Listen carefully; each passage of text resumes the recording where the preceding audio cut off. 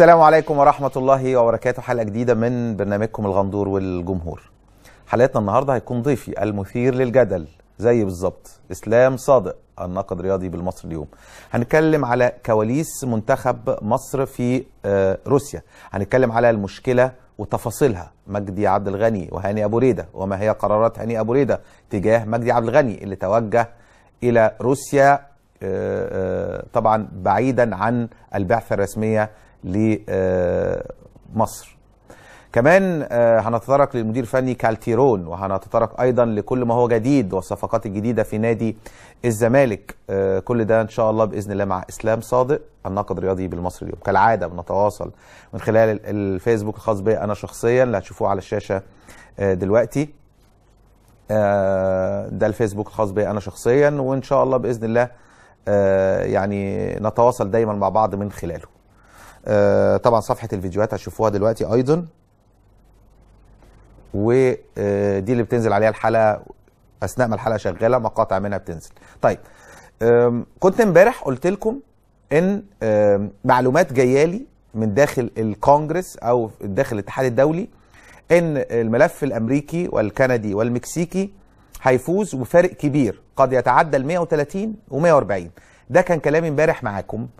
آه النهارده حصل فعلا هذا الكلام. بس تعالوا نشوف أنا قلت إيه امبارح ونرجع لكم تاني. يلا بينا. عايز أقول كمان بس حاجة مهمة إن بكرة الساعة 7 الصبح أو بعد ساعات من دلوقتي تمام. يعني آه، على ON Sport هيتم آه، آه، إذاعة من سيفوز بسباق كأس العالم 2026 7 ملفين آه ملفين تم اختيارهم. ملف المغربي اللي بنتمنى له كل التوفيق. طبعا. وملف الثلاثي لأمريكا وكندا والمكسيك. المعلومات اللي جاية لي آه، من هناك إن آه، آه، يعني فوز الملف الأمريكي والمكسيكي والكندي بال- بسباق ال- التنظيم تنظيم كأس العالم.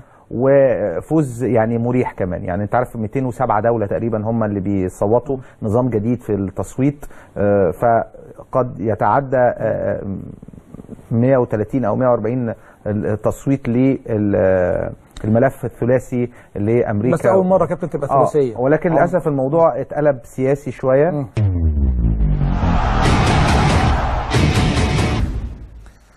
آه زي ما قلت لكم آه، الموضوع سياسي. للأسف المغرب تتعامل مع موضوع بشفافية ومصداقية وبسلاسة وبحب وكده وللأسف الموضوع بيبقى سياسي بحت.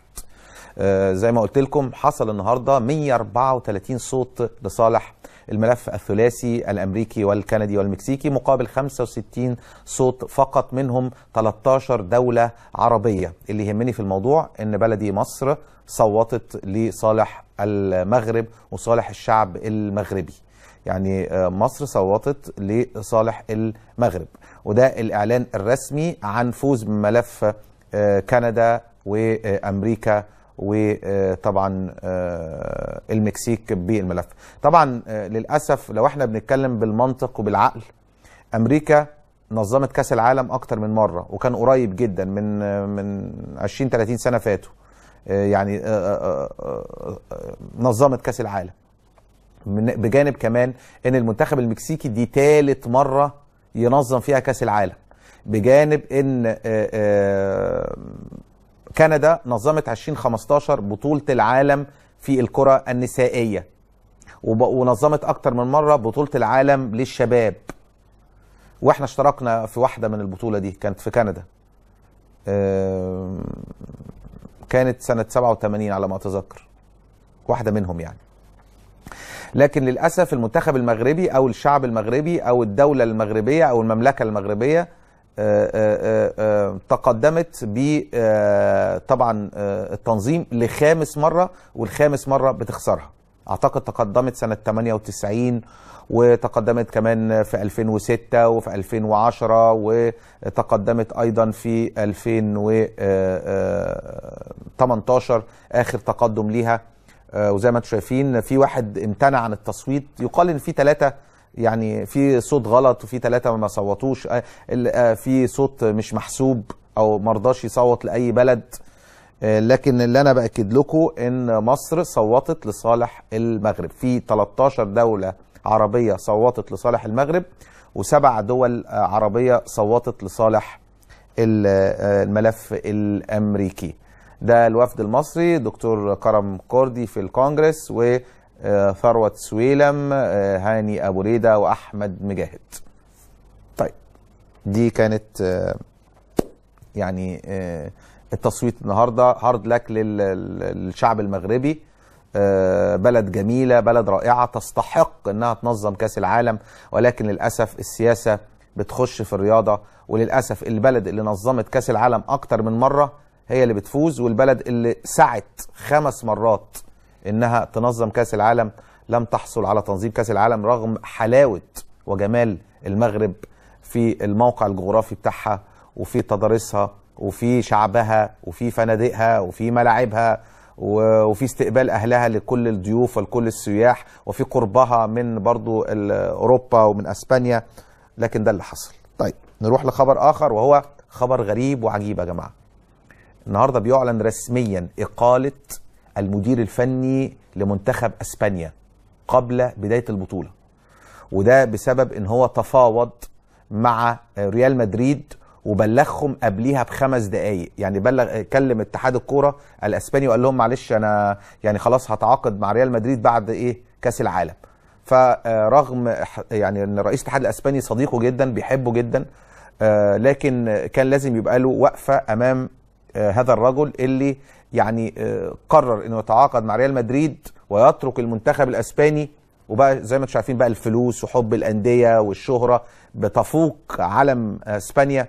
وبيعلن بيعلن ده قبل البطولة ب آه، آه، يعني ساعات.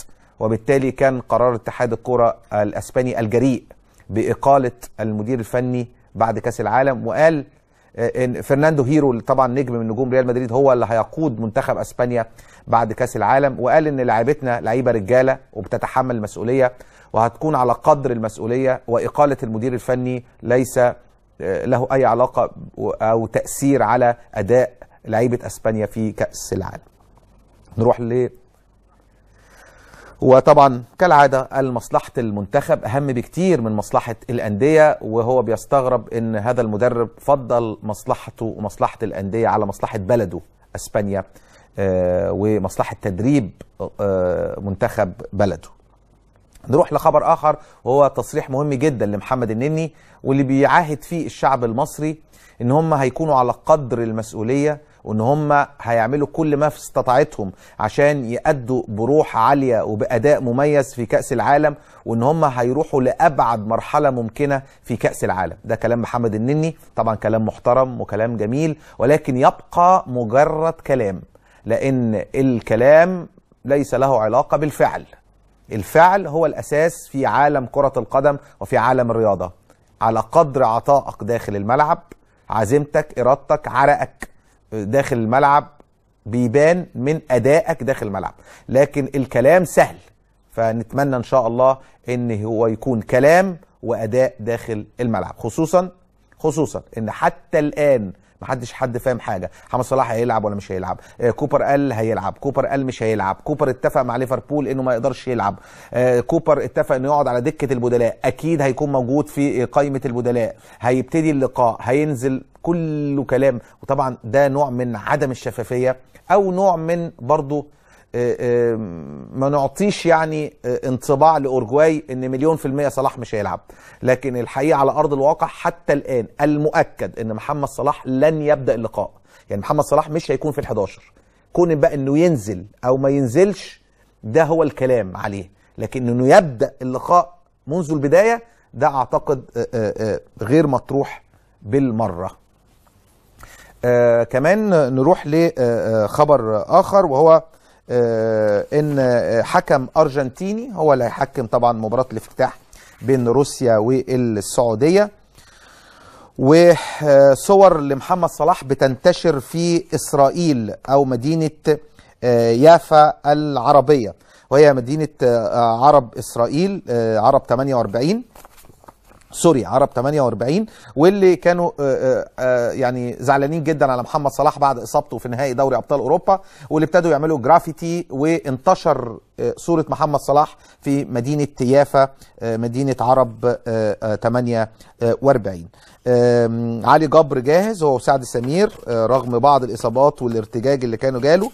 آه، كمان آه، آه، نروح لكارتيرون المدير الفني الجديد للنادي الأهلي. واللي آه، وصل آه، آه، النهارده لمطار القاهرة وحضر التدريبات مع النادي الأهلي واللي بيستعد لدراسة كل لاعب في النادي الأهلي عشان كارتيرون بجانب محمد يوسف هيقولوا مين هيمشي ومين هيبقى في الفريق خصوصا إن الموضوع بقى شائك جدا ومش سهل جدا ومحسوب كل لاعب يمشي أو يرحل أو يبقى أو يروح إعارة هيكون محسوب على الجهاز الفني عكس قبل كده اما كان هناك 30 لاعب في القائمة. كارتيرون قال أنا سعيد باستقبال جماهير الأهلي وهدفي دوري أبطال أفريقيا وهو مش غريب عليه خصوصا إن هو خد بطولة أفريقيا مع مازيمبي. قبل كده زي ما كابتن محمد يوسف خد بطولة أفريقيا مع النادي الأهلي والاثنين تأهلا لكأس العالم للأندية. آه، فشل المفاوضات مع ياسين مرياح مدافع منتخب تونس. كان في مفاوضات للنادي ال- الأهلي معاهم. آه، كمان طبيب النادي الأهلي بيقول أجاييه محتاج أسبوع راحة والأهلي يتمسك بمعلول رغم إغراءات أوروبا. معسكر ألمانيا أول أوراق ضغط الزمالك على الشركة الراعية. نادي الزمالك عايز يعمل معسكر في ألمانيا الأيام القادمة وثلاث أيام أجازة عيد الفطر في الزمالك. كابتن خالد جلال بيأكد إن ما عندوش أي مشكلة مع رئيس نادي الزمالك. وزي ما أنا قلت لكم بس هي كانت المشكلة الوحيدة عدم رضا خالد جلال على بقاء أو رحيل بعض اللاعبين وكان آه، آه، أحداد اللاعب المغربي اللي رحل وتعثر المفاوضات معاه كان آه، رفضه خالد جلال إن هو مش راس حربة صريح. آه، خالد جلال يبحث عن راس حربة صندوق ينافس كاسونجو كابونجو كرأس حربة هجام قادر على إحراز الأهداف ورغم أن نادي الزمالك عنده راس حربة هجام وهداف وبيلعب بدماغه اسمه مصطفى محمد. عشان هو ابن من أبناء النادي عشان هو ببلاش بالعكس هذا اللاعب لو أعطيته هيديك عنده عزيمة عنده إرادة عنده روح عنده عايز يثبت وجوده لسه جعان كورة لسه جعان فلوس. كل ده توقعاتي كل الكلام ده إن مصطفى محمد هيكون لاعب لاعبا اساسيا في نادي الزمالك الموسم القادم. وافتكروا كلامي. الكولومبي يعود لحسابات نادي الزمالك. الشرط الجزائي أزمة في رحيل معروف يوسف عن الزمالك. والزمالك يعيد فتح ملف آه، ضم مدافع جديد. الاستقرار على رحيل إسلام جمال ومحمد مجدي مشي. مش عارف يعني عندكم عندكم يعني يعني مدافعين كويسين يعتبروا الأفضل في مصر يعني مفيش أحسن منهم يعني. لو في واحد أو اتنين أحسن منهم هيكونوا في أندية مش هتسيبهم. ف آه، طيب. عودة مصطفى فتحي وحازم إمام لتدريبات الزمالك بعد العيد. مصطفى فتحي بقى علامة استفهام يعني يقال إن هو عنده التهاب في الركبة. الالتهاب ده لا يشفى منه أبدا يعود إليه مرة أخرى ودي مشكلة كبيرة جدا مصطفى فتحي قيمة كبيرة جدا في الكرة المصرية وقيمة لنادي الزمالك وبقائه في نادي الزمالك هيكون مهم جدا الموسم الجديد. حتى الآن آه، لم آه، آه، يعني يظهر أي عقد خارجي لكهربا. آه، وحتى الآن أيضا شيكابالا منتظرين كأس العالم تقريبا. آه، آه، آه، كمان آه، آه، بتروجيت يطلب استعارة ثنائي شباب الزمالك رسميا. آه، هاني رشدي وحسين فيصل اللي هم الاثنين اللي لعبوا مع الكابتن محمد صدقي مواليد 99 زي برضو ما رمضان بيكهام آه، خلاص قرر النادي الأهلي إعارته آه، آه، لوادي دجلة على ما أعتقد. آه، آه، الزمالك يتفق مع بهاء مجدي وترقب مفاوضات الإسماعيلي. يقال إن الإسماعيلي موافق بس الزمالك يدفع 10 مليون جنيه بجانب أحمد رفعت. الزمالك آه، يحقق في مشاركة فتوح بدورة رم- رمضانية وعقوبة تنتظره 300 ألف جنيه. مباريات دور 32 للبطولة العربية يا جماعة. آه، الأهلي آه، هيواجه نظيره اللبناني. آه، العهد فيما يواجه الزمالك نظيره الق- القادسية الكويتي. أما الإسماعيلي فيلتقي الكويت الكويتي والاتحاد السكندري مع الترقي التونسي. كل المباريات تقريبا هتكون في شهر 8 آه، هتكون في آه، يعني أول 10 أيام من 8 والعودة هتكون في ال 10 أيام الثانية من شهر 8 شهر أغسطس آه، بإذن الله. ده كان كل أخبارنا وكل ما هو جديد. هنعرف الكواليس مع إسلام صادق. ولكن آه، بعد آه، أغنية عملها محمود صابر. أغنية دمها خفيف آه، قدمها لمصر والسعودية وبيتكلم فيها على عضة سواريز وكلام من هذا القبيل. نشوف الأغنية فاصل ونرجع نستقبل إسلام صادق ناقدنا الرياضي الكبير بالمصري اليوم. يلا بينا.